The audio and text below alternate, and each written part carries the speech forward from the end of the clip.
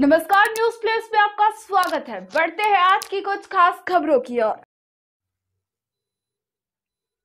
बड़ी खबर कुचामन सिटी से आ रही है, जहाँ शहर में संविधान निर्माता डॉक्टर भीमराव अंबेडकर के परिनिर्वाण दिवस के मौके पर मौजूद जन समुदाय ने समाज में फैले कुरूतियों को दूर करने का प्रण लिया।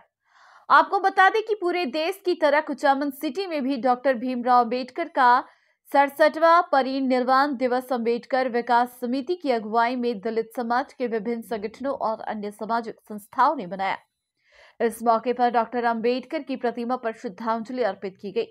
अंबेडकर विकास समिति के अध्यक्ष हेमराज चावला ने कहा कि बाबा साहेब गरीबों और कमजोरों के मसीहा थे। उन्होंने बताया कि बाबा साहेब के परिनिर्वाण दिवस के मौके पर उपस्थित जन समुदाय ने समाज में फैले कुरीतियों को दूर करने का प्रण लिया है।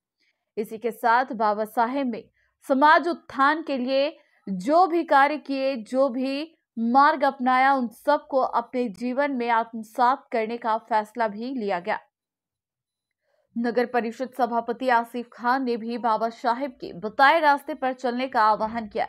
इस मौके पर पार्षद Subhash, doctor Narendra Mohan Puria, Shankarlal Gajendra Kansotia Muslim educational and welfare society के अध्यक्ष मोहम्मद शकील कुरैशी इलियास गुरु युवा नेता विमल पारिक पार्षद अशोक चावला नवाब सुंदरलाल चैनसुख सहित उपस्थित समुदाय ने बाबा साहेब की प्रतिमा पर पुष्प अर्पित कर उन्हें श्रद्धांजलि अर्पित की। समाज के समस्त लोग जो बाबा साहब को श्रद्धांजलि अर्पित कर रहे हैं।